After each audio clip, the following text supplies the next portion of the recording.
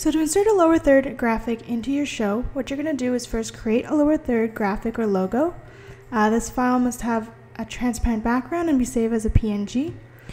Then you're going to import the graphic into the switcher. So to do that, you're going to go into the media section.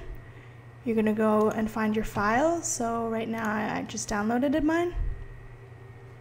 So I press that. And then you're going to drag your photo into your your media and C mine is number two. So remember that number and like I said before, when you put your media in there, it's going to have the name and a small thumbnail of what you just put in. Then what you're going to do, you're going to go into this tab and you're going to set that media player. So you're going to go to media players, media players, and your MP2 should be your still that you put in. So mine is still 2 test 2. So now you're ready to integrate your lower third into your show. So depending on which key you want to use, one or two, you'll press the designated button under the either downstream key 1 or downstream key 2. To set those up, you're going to go back into palettes, downstream keys, and as I mentioned, if you're doing downstream key 1, it's going to be key 1. If you're doing downstream key 2, it's going to be key 2. You're going to put in your fill source, so mine is media player 2. And don't worry about the key source because it'll do it automatically. Now, when I press on air on downstream key 1, since I put it under key 1, it'll show my lower third. If I press auto, it'll make a little nice mix transition and put it onto the visuals. And your on air button will be red. If I want to tie it into another transition, so for example, I'm going to bars next and I want to make sure that it ties my lower third into the transition, I put the tie button, that'll turn yellow. And then when I make the next transition, it'll go on air with the bars. If I take off the bars, it'll also tie it with that visual. Changing the color generator sources is pretty easy. So to do that, um, right here, they're actually yellow right now. If I press shift, it's orange. So if I want to change those colors, I go into color generators.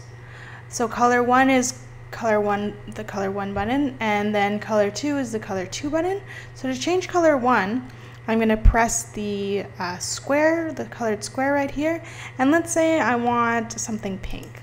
Okay, I'm going to press the pink button and I can also um, do it um, by clicking over here and I'm going to press OK and now my color 1 button is going to be pink. So the same thing, um, you can do the same thing for color 2. So let's say I want to change it to blue.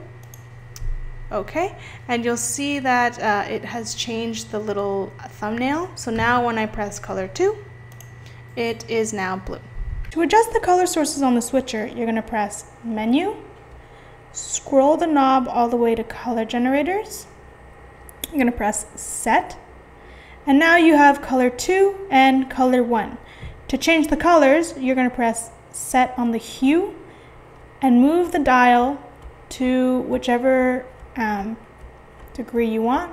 And there's a little uh, bar at the bottom which tells you what color you're at. So let's say I want it to be light blue.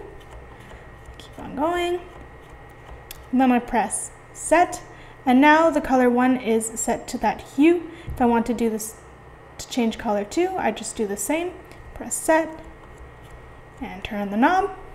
And now color one and color two are set. Just press menu to head back to the main screen.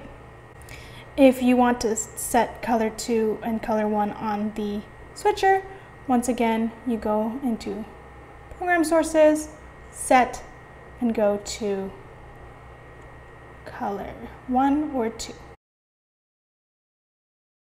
Changing the transition settings is very easy. All you have to do is go into the palettes, transitions, and you'll see mix, dip, wipe, and DVE. So if you want to change the mix, for example, you just press mix. So in the mix, you can change the rate. The dip, you can also change the rate, but you can also change the dip source. So that's the source between um, the first visual and the second visual. The wipe, the wipe settings include changing the shape of the wipe the rate, the symmetry, the position, the direction, and include borders or not.